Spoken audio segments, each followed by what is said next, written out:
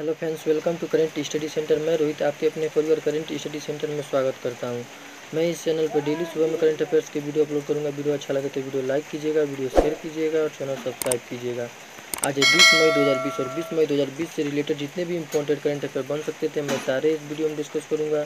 तो चलिए देखते हैं आज का क्वेश्चन आज का पहला क्वेश्चन है, हाल ही में किस देश ने विश्व के सबसे बड़े व गहरा ढाल ज्वालामुखी की खोज की है? तो अभी अमेरिका ने विश्व के सबसे बड़े व गहरे ढाल ज्वालामुखी की खोज की, यानी कि इस क्वेश्चन का ए ऑप्शन सही है। अब तक दुनिया में सबसे बड़ा ढाल ज्वालामुखी मोना लोआ था। कौन था? मोना लोआ। ये अमेरिका के हवाई द्वीप में है। कहाँ है? अमेरिका के हवाई द्वीप में। पर अब अमेरिका के मेनवा में, कहाँ? मेनवा में एक नई ज्वालामुखी की खोज हुई है और इसका नाम पूहा होनू रखा है, क्या है? क्या है? पूहा होनू। और ये दुनिया का सबसे बड़ा ढाल ज्वालामुखी बन गया है। बात आती है ढाल ज्वालामुखी की। ये क्या होता है? तो ढाल ज्वालामुखी, या ज्वालामुखी का ही एक टाइप है। जब ज्वालामुखी में विस्फोट होता है तो उसका तरल लावा बहुत दूर तक जाता है।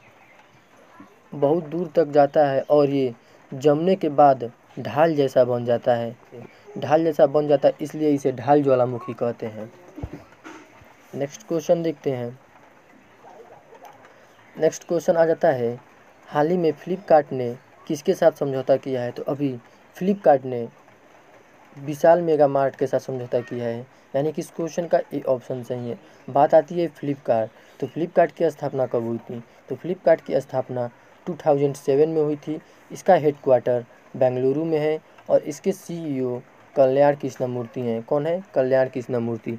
और फ्लिपकार्ट की स्थापना किसने की थी? तो फ्लिपकार्ट की स्थापना संचेत बंसल और बिन्नी बंसल, इन दोनों ने मिलकर फ्लिपकार्ट की स्थापना की थी। नेक्स्ट क्वेश्चन देखते हैं। नेक्स्ट क्वेश्चन आ जाता है।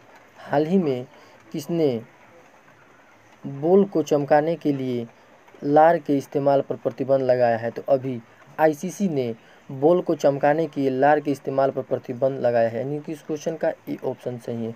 और अभी कुछ दिन पहले ऑस्ट्रेलिया ने भी बॉल को चमकाने के लिए थूक और पसीने के इस्तेमाल पर प्रतिबंध लगाया था और अब आईसीसी ने भी थूक के इस्तेमाल पर प्रतिबंध लगा दिया है।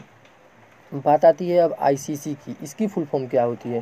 तो आईसीसी की फुल फॉर्म होती है इंटरनेशनल क्रिकेट काउंसिल। क्या होती है? International cricket council. इसका हेडक्वार्टर दुबई में है और इसके सीईओ मनु साहनी है और इसकी स्थापना 1909 में हुई थी। कब हुई थी? 1909 में। नेक्स्ट क्वेश्चन देखते हैं। नेक्स्ट क्वेश्चन आ जाता है। हाल ही में केंद्रीय प्रदूषण बोर्ड यानी कि सीपीसीबी के अध्यक्ष कौन बने हैं? तो अभी केंद्रीय प्रदूषण बोर्ड सीपीसीबी के नए अध्यक्ष शिवदास मीणा बने हैं। कौन है? शिवदास मीणा, यानी कि इस क्वेश्चन का सी ऑप्शन सही है। बात आती है सी पी सी बी इसकी फुल फॉर्म क्या होती है? तो इसकी फुल फॉर्म होती है सेंट्रल पॉल्यूशन कंट्रोल बोर्ड क्या होती है? सेंट्रल पॉल्यूशन कंट्रोल बोर्ड इसकी स्थापना 22 दिसंबर 1974 में हुई थी, कब हुई थी? 1974 में हुई थी और इसका हेड क्वार्टर नई दिल्ली में है। कहाँ है? नई दिल्ली। नेक्स्ट क्वेश्चन देखते हैं। नेक्स्ट क्वेश्चन आ जाता है, हाल ही में जैकमा ने किस बैंक के बोर्ड से इस्तीफ़ा दिया है? तो अभी जैकमा ने सॉफ्ट बैंक से इस्तीफ़ा दिया यानी कि इस क्वेश्चन का ए ऑप्शन सही है। बात आती है अब सॉफ्ट बैंक की तो इसकी स्थापना कब हुई थी? तो इसकी स्थापना तीन सितंबर 1981 को हुई थी। कब हुई थी? 1981 को हुई थी। इसका हेड क्वार्टर टोक्यो, जापान में है। कहाँ है? टोक्यो, जापान में है। और इसके सीईओ मासायोशी सोन है। कौन है? Masayoshi Son. नेक्स्ट क्वेश्चन देखते हैं। नेक्स्ट क्वेश्चन आ जाता है। कोविड नाइन्टीन लॉकडाउन के बाद शुरू होने वाला दुनिया का पहला खेल इवेंट कौन बना है? अभी कोविड नाइन्टीन लॉकडाउन के बाद शुरू होने वाला दुनिया का पहला खेल event Bundesliga football league बना है। कौन है? बुंडेस लीगा फुटबॉल लीग यानी कि इस क्वेश्चन का? ए ऑप्शन सही है। बुंडेस लीगा फुटबॉल लीग ये जर्मनी की एक प्रसिद्ध फुटबॉल लीग है और इसकी शुरुआत 1963 में हुई थी। कब हुई थी? 1963 में हुई थी। और ये बिना दर्शकों के खेला गया है, जबकि स्टेडियम में जो बैठने की क्षमता है, वो है अस्सी हज़ार से ज़्यादा लोग। स्टेडियम में बैठ सकते हैं ले पर ये कोविड नाइन्टीन के इन्फेक्शन के फैलने के खतरे से ये बिना दर्शकों के खेला गया है। नेक्स्ट क्वेश्चन देखते हैं। नेक्स्ट क्वेश्चन आ जाता है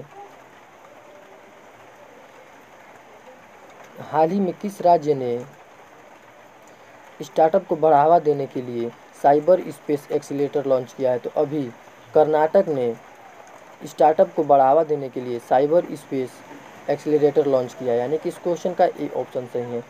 अब ये कर्नाटक ने लॉन्च किया है। तो मैप में देखते हैं कर्नाटक। ये है मैप में कर्नाटक, जो आपको येलो कलर का दिखाई दे रहा है। कुछ इस प्रकार से दिखता है कर्नाटक। कर्नाटक कर्नाटक की कैपिटल बेंगलोर है। कर्नाटक के सीएम प्रेजेंट टाइम पे कौन है? बी एस येदुरप्पा है। कौन है? बी एस येदुरप्पा और कर्नाटक के गवर्नर बजूभाई वाला है। कौन है? बजूभाई वाला। और बेंगलुरु नगर पालिका ने अभी कुछ दिन पहले प्राणवायु कार्यक्रम शुरू किया था। कौन सा कार्यक्रम? प्राणवायु। ये बेंगलुरु नगर निगम द्वारा शुरू किया गया था। नेक्स्ट क्वेश्चन देखते हैं। नेक्स्ट क्वेश्चन आ जाता है, हाल ही में किस देश के वैज्ञानिक ने सुपर अर्थ की खोज की है?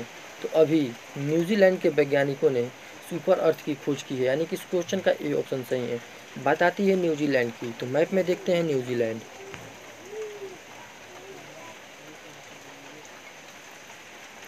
ये है मैप में न्यूजीलैंड, जो आपको रेड कलर का दिखाई दे रहा है। यही है न्यूजीलैंड। न्यूजीलैंड की कैपिटल वेलिंगटन है। कहाँ है? वेलिंगटन। और न्यूजीलैंड की करेंसी डॉलर है। और न्यूजीलैंड के प्रेजेंट टाइम पे पीएम जेसिडा आर्डन है। कौन है? जेसिडा आर्डन नेक्स्ट क्वेश्चन देखते हैं।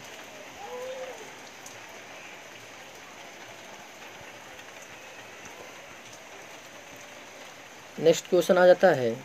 हाल ही में नाबार्ड ने किस राज्य सरकार के लिए 1500 करोड़ रुपए की मंजूरी दी है? तो अभी नाबार्ड ने पंजाब गवर्नमेंट के लिए 1500 करोड़ रुपए की मंजूरी दी है। यानी कि इस क्वेश्चन का ए ऑप्शन सही है। बात आती है नाबार्ड की। इसकी फुल फॉर्म क्या होती है? इसकी फुल फॉर्म होती है National Bank for Agriculture and Rural Development क्या होती है? National Bank for Agriculture and Rural Development इसकी स्थापना 1982 में हुई थी। इसका हेड क्वार्टर मुंबई में है। बात आती है अब यहाँ पर पंजाब की भी। तो पंजाब को मैप में देखते हैं। ये है मैप में पंजाब जो रेड कलर का दिखाई दे रहा है। पंजाब पंजाब की कैपिटल चंडीगढ़ है। पंजाब के सीएम कैप्टन अमरिंदर सिंह है और पंजाब के गवर्नर बीपी सिंह बदनौर है। कौन है? BP Singh Badnore. Next question देखते हैं। नेक्स्ट क्वेश्चन आ जाता है। हाल ही में डब्ल्यूएचओ के तिहत्तरवें सत्र में भारत का प्रतिनिधित्व किसने किया? तो अभी WHO का तिहत्तरवा सत्र, तिहत्तरवें सत्र में भारत का प्रतिनिधित्व डॉक्टर हर्षवर्धन सिंह ने किया है। किसने किया है?